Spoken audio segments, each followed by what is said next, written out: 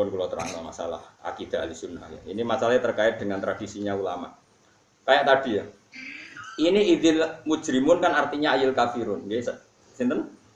Orang-orang kafir. Sama dengan apa? Wa man jaa fakubbat wujuhum finnar. Siapa saja sing nglakoni sayi'ah keelean mesti dijungkelno ning neraka. Kubat itu dijungkelno. Padahal semua orang Islam pernah sayi'ah enggak? Pernah apa sering? Wah, itu antek junggel umpama asal maknane napa? Saya. Makanya sama delok di semua tafsir ahli sunnah. Sayyah ayat syirki awil kufri. Bukan sekedar sayyah maknanya apa? Dosa. Ada lagi ayat yang walai satit taubatu lil ladzina ya'malunas sayyah hatta idza hadara ahadahumul mautu qala inni tubtul ana. Saiki sampean tak bedheki. Orang mukmin yang dosane gede kaya apa iso iso tobat ora? Bisa. Coba kalau saya maknanya semua saya Ayat itu berarti maknanya bis. Walaisat lan orasa atau ora ono apa atau batu tobat. Orasa lilladina ya'malunas sayiat bagi siapa saja yang pernah melakukan beberapa keburukan. Padahal untuk beberapa hanya butuh tiga kali. Jamaah itu butuh berapa kali? Salam pembirohin. Oh ribuan.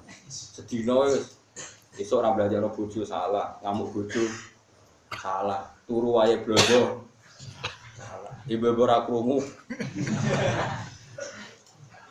itu andekan sayi'ah di situ maknanya tidak kemusyrikan, berarti maknanya itu siapa saja yang pernah berbuat sayi'ah kesalahan dan jumlahnya sudah banyak maka tidak berhak tobat. Mau ayat wale satit taubatu lilladzina ya'malunas sehingga ulama ahli sunnah itu khas kalau menafsirkan ayat seperti ini saya artinya syirik kafir syirik kafir bukan sekedar mutlakul zambi atau mutlakul maksiat, sekedar dosa atau sekedar mak.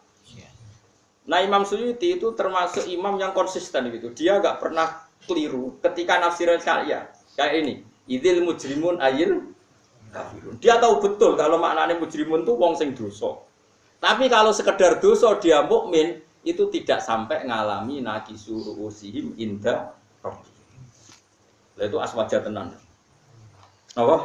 Ahli tenan. Ini penting kalau atur, no? karena sekarang tuh banyak orang yang apa ya, nganggap sidik-sidik itu kafir, sidik kafir. Karena dia ngira maknanya sayi'ah itu sekedar sayi'ah, keelean apa ya diartikan apa? Tidak seperti itu dalam Islam, masyur. Cerita, singkat cerita nggak tahu ya. Allah itu nurono wahyu negatif Nabi Muhammad Shallallahu Alaihi Wasallam. Terus wahyu itu di antaranya ngeten.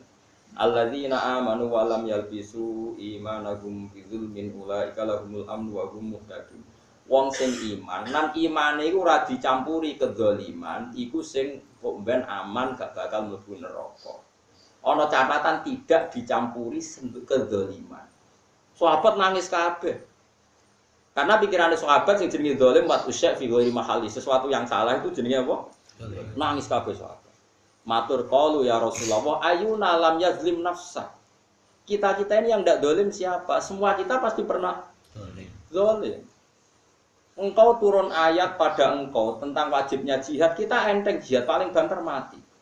Kon zakat enteng paling banter kehilangan dunia, tapi ini enggak. Orang disuruh iman dan imannya sama sekali enggak kecampuran dosa. Mana mungkin kita melakukan itu? Ayu nalam yazlim nafsa. Rasulullah senyum-senyum menghentikan laisa huwa kama ta'nun. Sebagian riwayat laisa huwa kama tazunnun. Itu tidak yang seperti kamu bayangkan. Innama huwa kama qala Luqman libnihi inna syirka lazulmun itu tidak seperti yang kamu bayangkan. Dolim di situ sekedar sarah itu tidak. Tapi dolim di situ maknanya inna syirka lazulmun adi maknanya nengkono itu maknanya syirik. Berarti maknanya deh orang yang beriman dan tidak mencampuri keimanannya dengan kemusyrikan ini penting kulatur. No. Jadi kamu nggak boleh maknani Quran pakai kamus tidak boleh. Sayyi'ah, boleh sayyi'ah. Kemudian kamus bahasa Indonesia kejelekan. Barang maknani Quran sayyi'ah. Lafaz sayyi'ah maknani.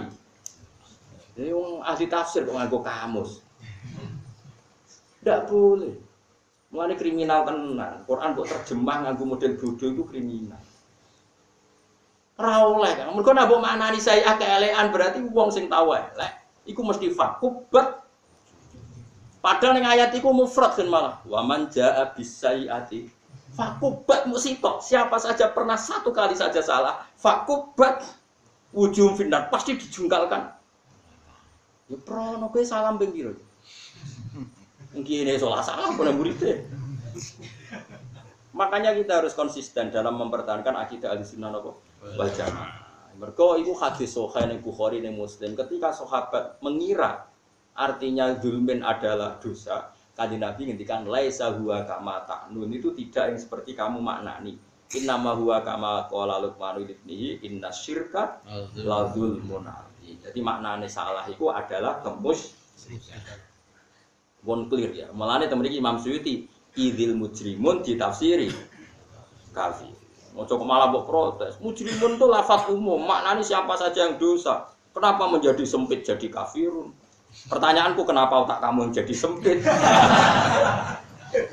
Itu cara tau ngaji kecangkeman.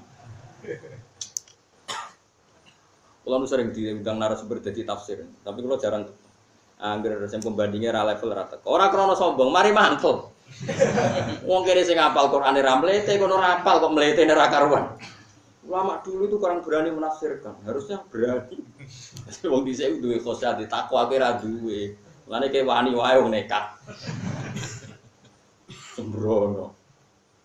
Maknane Quran ora koyo ra iso mbok kamusno terus saya abu golek ini kamus kejelekan terus wa man jaa bisa siapa melakukan kejelekan fakubat tujuh benar pasti jungkalin rokok.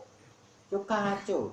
Saya di situ itu artinya kemusyrikan. Itu gak ada ayat wali satit taubatu lilladzina ya'maluna sayyi'at. Coba kalau saya di situ artinya kejelekan. Siapa saja yang pernah berbuat jelek sudah nggak bisa kacau nggak?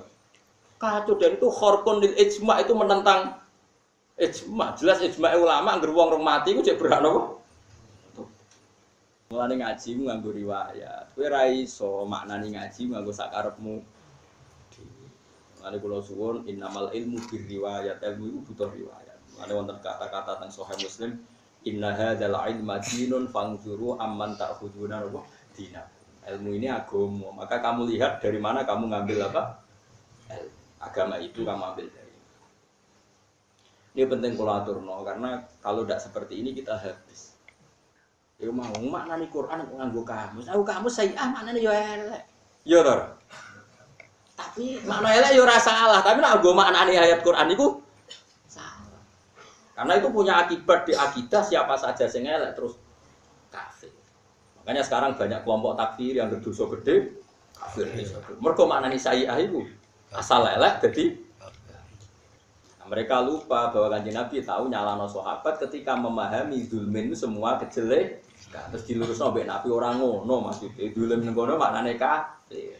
Kama qala Luqman ibnihi inna syirka la pun clear ya jadi Lane teng mriki wazuku adzabal khuldi wong kudu ngrasakno siksa selawase bima kuntum tak malun. Kalau secara makna umum apa? Sebab apa saja yang kamu lakukan. Tapi itu tidak khas ahli sunnah wal jamaah. Imam Suyuti nafsirin apa? Minal kufri wa takdzibi. Dosa sing mari langgeng ning neraka siji kafir, nomor loro mendustakan ruh. Mun jelas ya, ora sekedar napa mak maksiat. Nak sekedar maksiat itu bisa ditobati. Lan ora dadekno abadi ning nopo? Neraka. Tapi tetap tobat aja terus-terus no. Ora buku kesempatan. Tapi jelas gini ki mun paham nggih terus niki khas madhab nopo ahli sunnah nopo? Wal jamaah. Jadi mujrimun sing abadi neraka iku kafirun. Wadzuku ada di siksa selawase bima kuntum tamalun ya minal kufri wa takdzibi. Iku kafir lan goro. Pun jelas itu dulu. Gue kudu ngoten, sampean kudu ahli sunnah tenan. Awas. Wong 73 sing selamat mesti tok napa? Oh ngaji sore tak tambahi mau tenan ya termasuk Islam napa? Mbok mlebu sing ya mlebu ahli sunnah, ahli sunnah sing piye ora roh dilebokno. Nah, mlebu napa? Kok wingi diskusi. Caca iki repot jeneng digawe-gawe dhewe kadang menjebak takon. Gus, Islam jeneng Islam apa? Yo Islam ra kafir. Mesti kategori ini lho, sing nopo. Islam ora kategori ini. Garis keras atau garis lurus? Apa sing piye?